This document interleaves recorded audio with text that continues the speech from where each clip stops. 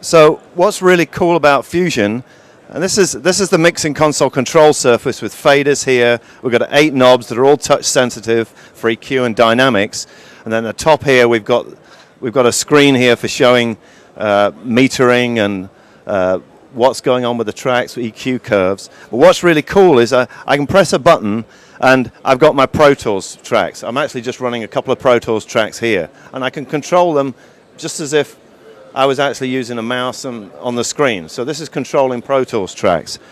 If I hit another button, now what's happening is you see Nuendo's coming up on the surface. So this is controlling a PC, whereas the other one was controlling a Mac.